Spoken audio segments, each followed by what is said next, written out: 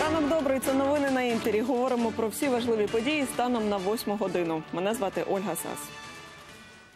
Двоє військових поранені минулої доби на Донбасі. Російські окупанти півтора десятки разів обстрілювали позиції об'єднаних сил.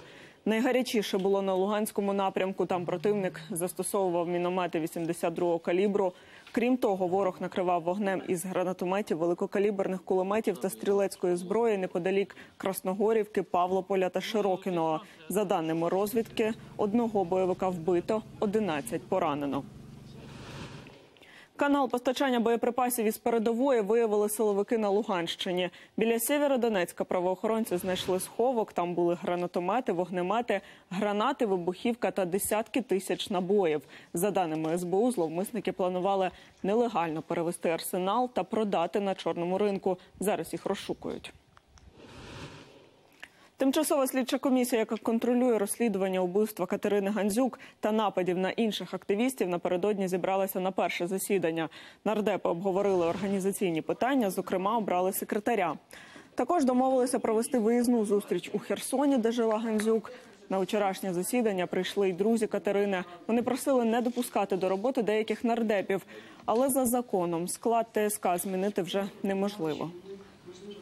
Я задоволений тим, як пройшло перше засідання. Е, Я задоволений тим, що ми знайшли е, точки співпраці зі всіма своїми колегами.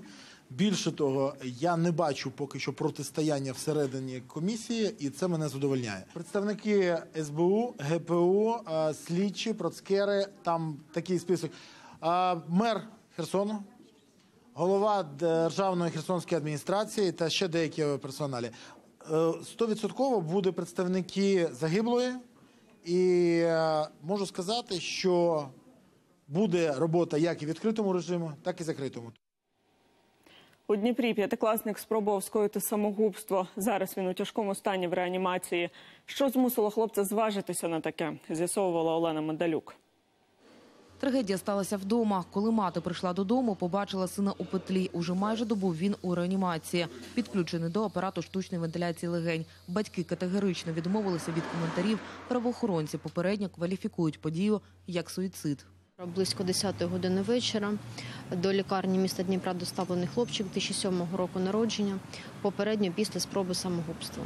Хлопчик з першого класу навчався у 26-й школі. Вчителі у його поведінці нічого підозрілого не помічали. Кажуть, був активним, з однолітками не конфліктував, хіба що поведінка кульгала. Подвижный, як і всі, замічання на уроки, як і всі. Що касается учоби, то в міру своїх способностей. Ему, как и другим детям, делали замечания по поводу его поведения.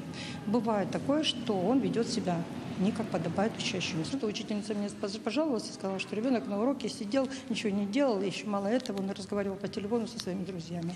Довести учня до самогубства могли вчителі, вважають активісти. До такої версії вони дійшли після спілкування з батьками однокласників.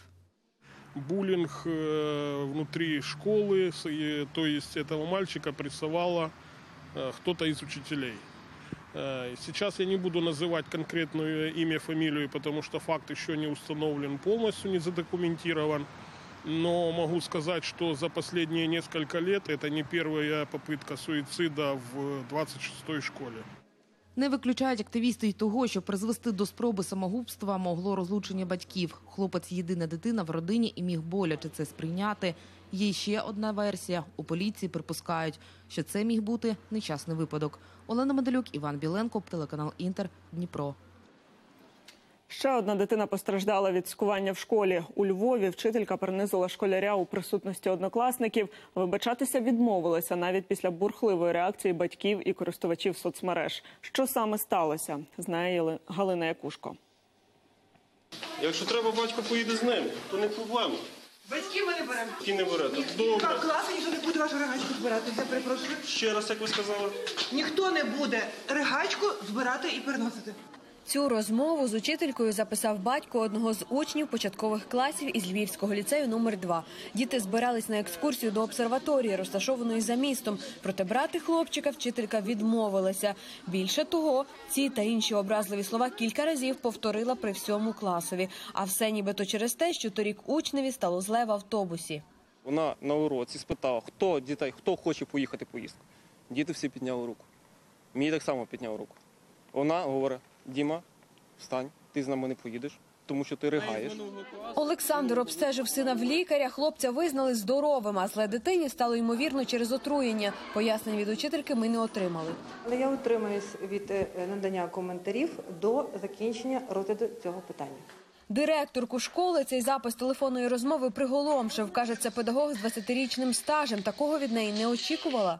Мені прикро це чути. У відділі освіти почали службове розслідування, проте активісти, які відстежують порушення в школах, певні це ніщо інше, як знущання з дитини. Є новий закон про булінг. Е, Він повністю всі дії, які вчинила вчинено е, педагогами, вони всі підпадають під цей закон. Це цькування, це приниження гідності. Вчителька й далі працює ані догани, ані усунення з посади, допоки немає висновків службового розслідування. Сім'я дитини готова прийняти хоча б прості вибачення від педагога, та поки що ані батьки, ані хлопчик їх не почули. Галина Якушко, Ірій Голубінка, новини телеканал Інтер, Львів.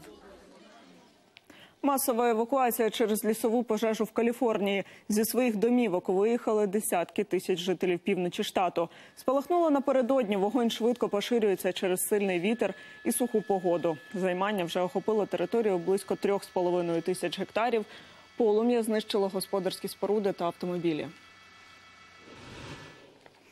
Греції почався сезон збирання шафрану. З його суцвіть роблять одні із найдорожчих прянощів. Скільки ж зусиль потрібно докласти, щоб отримати грам спецій, і як ця рослина допомогла грекам пережити фінансову кризу? Дивімося далі. Від самого ранку під палючим сонцем інженер-конструктор ЗІСИС працює на власній шафрановій плантації. Хоча й має три вищі освіти, у зборі квіток дипломи в пригоді не стають. Натомість допомагає добре натренована спина. ЗІСИС довго вчився, намагався влаштуватися на роботу. А коли почалася фінансова криза 2008 року, шукав щастя в Лондоні і, врешті, знайшов його в рідному містечку Крокос.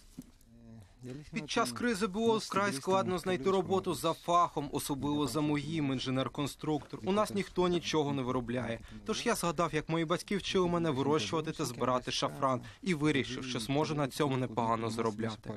Найцінніша частина квітки тичинки, червоні ниточки всередині суцвіття. Це і є власне прянощі. Їх вирізають власноруч. Щоб отримати 100 грамів прянощів, потрібно зібрати 50 тисяч квіток. Через таке складне виробництво шафран одна з найдорожчих спецій у світі. Недарма його називають червоним золотом. У Греції цінну рослину особливо шанують. Вона багатьох врятувала від безробіття. Сьогодні чимало молоді обирає роботу на землі. Я думаю, невдовзі тут буде іще більше людей. Якщо зростатиме попит, ми збільшимо виробництво. Хоча найбільше шафрану виробляють на його батьківщині в Ірані, грецькі прянощі за якістю не гірші. Їх продають у Сполучені Штати, Європу та Японію. Нещодавно представники кооперативу з міста Крокос почали перемовини з китайськими імпортерами. Аромат і смак наших прянощів дуже насичений. Якщо кухар кладе у страву 5 тичинок звичайного шафрану, то нашого вистачить лише дві. Шафранове виробництво в Греції за останні 10 років зросло удвічі. Залучили понад 5 тисяч людей. Утім, для деяких це не просто заробіток, а радше традиція і невід'ємна частина життя. Коли народилася моя друга дитина, я брала її з собою в поле, загортала в ковдру, вкладала спати, а сама разом із чоловіком йшла збирати квіти. Хоч деколи буває нелегко, трударі переконують, свої плантації ні за що не полишать, а вміння й досвід передаватимуть наступним поколінням. Анна Філь, новини, телеканал Інтер. Париж поринає в атмосферу Різдва. Святкові вогні засяяли в одному із найстаріших універмагів міста. Декоратори постаралися у вітринах, виставили 75 рухомих ляльок, майже дві сотні ялинок та розвісили 3,5 кілометри світлових гірлянд. Традиційно це знак і для інших французьких торгівців. Час чепурити свої крамниці до свята та приваблювати покупців різдвяними знижками. І наразі у мене все. Наступна наша зустріч о 9 Дякую, що ви з нами. Побачимося.